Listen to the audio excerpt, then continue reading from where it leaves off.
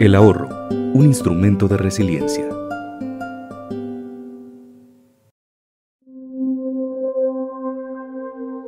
Centroamérica es una de las regiones del mundo más expuesta y vulnerable a las amenazas climáticas.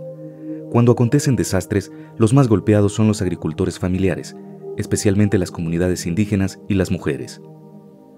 Los gobiernos locales y nacionales, junto con la sociedad, desean cambiar este patrón por ello, los estados de Guatemala y Honduras trabajaron desde el 2013 con la FAO y con el apoyo de la cooperación belga en un proyecto que contribuye a aumentar la resiliencia de las comunidades más vulnerables ubicadas en el corredor seco, mediante la creación de los fondos mutuos de contingencia para la reactivación de los medios de vida ante eventos extremos.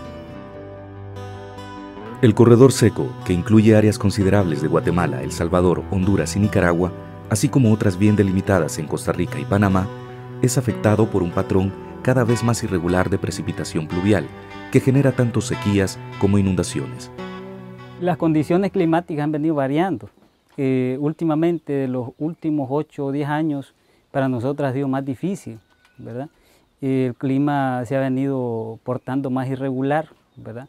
Las cosechas han venido mermando. Y lastimosamente en nuestro eh, lugar donde vivimos, pues no hay mucha fuente de agua. En esta zona, por cada cinco ciclos de cosecha, tres ciclos sufren pérdidas significativas y rara vez lo que se cosecha es suficiente para satisfacer las necesidades alimenticias de una familia. Frente a esta situación, el proyecto impulsó los fondos mutuos de contingencia, un esquema de fondos comunitarios que apoya a los productores más vulnerables sin acceso a sistemas formales de financiamiento y aseguramiento para proteger sus medios de vida. Esto es algo innovador para nosotros, algo nuevo que ha llegado aquí gracias a la FAO, porque la verdad que nosotros no teníamos mucho conocimiento, no teníamos ningún conocimiento, mejor dicho.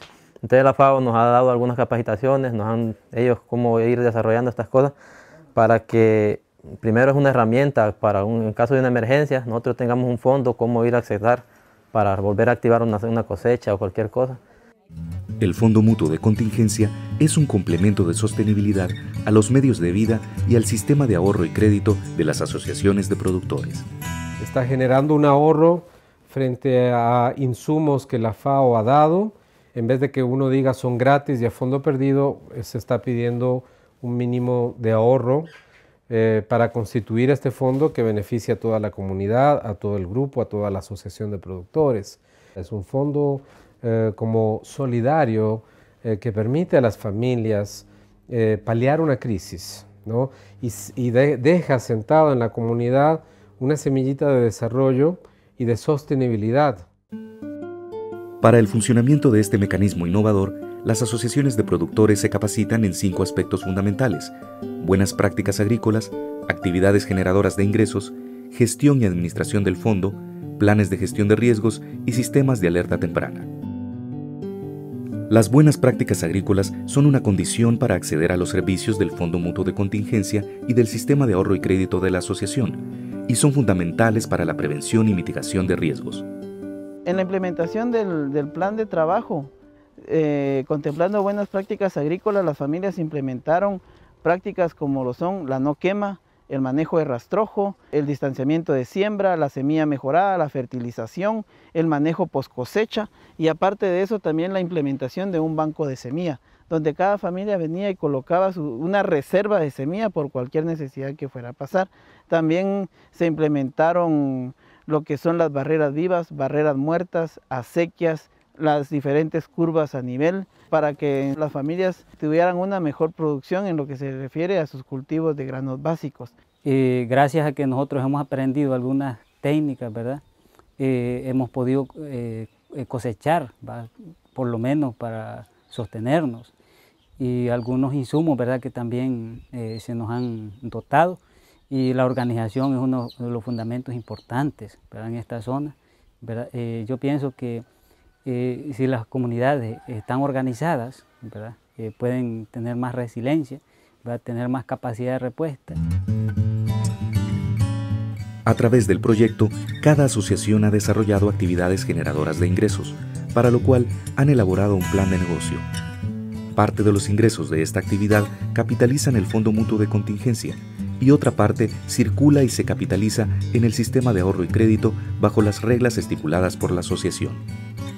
Pues el Fondo de Mutuo de Contingencia es un dinero que nosotros tenemos en la comunidad, donde nosotros ese dinero lo estamos trabajando para, para poder estar preparados por un fenómeno natural que nos azote y para poder lograr tener esos fondos para poder trabajarlos y darlos en créditos también.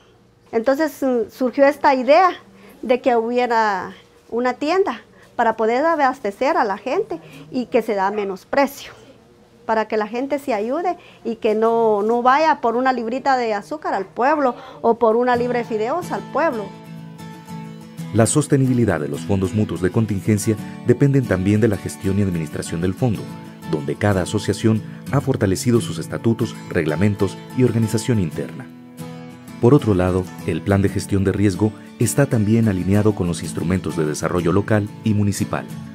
Nos dimos cuenta que para trabajar resiliencia a nivel comunitario hay ciertos factores principales que son los que poco a poco van detonando el proceso, porque esto de resiliencia es un proceso de 5 hasta 10 años. Sin embargo, para, para iniciar, nos dimos cuenta que uno de los principales eh, requisitos o factores era que cada comunidad contara con su plan de gestión de riesgo, el cual les permite a ellos saber qué hacer, cuándo hacerlo y en qué momento.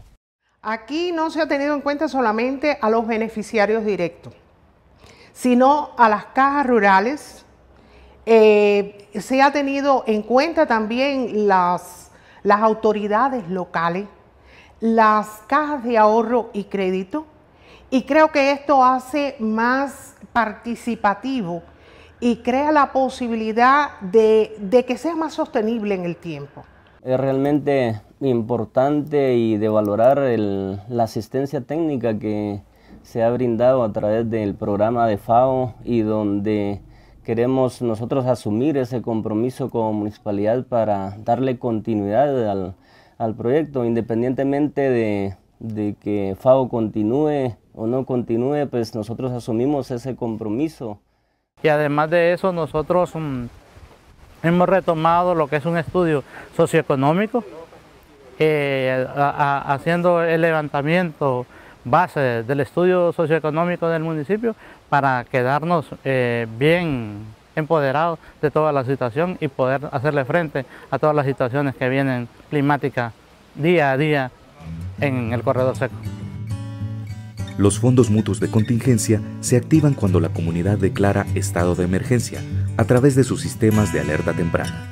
Dentro de las acciones eh, fundamentales que se han venido desarrollando, de hecho, han sido los sitios de alerta temprana que cada sitio de alerta temprana conlleva eh, que tiene un pluviómetro, eh, un termómetro y la manta vinílica en la cual cada una de las de los grupos registra los datos que se van desarrollando en el transcurso de, cada día y del mes. Realmente esto ha sido fundamental en el proceso esto de ir detectando la situación de canícula prolongada.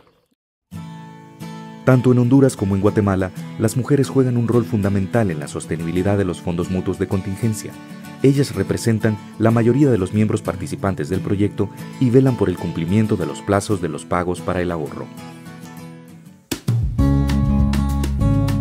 Hoy, 22 asociaciones en Guatemala y 28 cajas rurales en Honduras con productores familiares están más preparados para enfrentar los riesgos climáticos u otros riesgos, gracias a que cuentan con el respaldo de sus fondos mutuos de contingencia.